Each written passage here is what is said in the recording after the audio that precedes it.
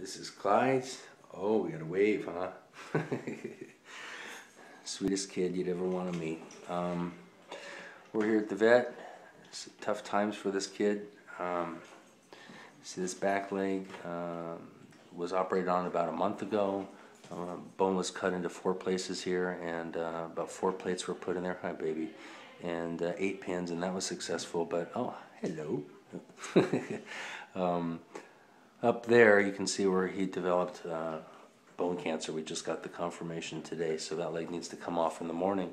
The leg below it had a surgery a couple days back. Dr. C was trying to shore it up to uh, to support his frame. He's a big kid um, to live with three legs. You know, normally that's doable, um, but when both legs are compromised, it's more difficult.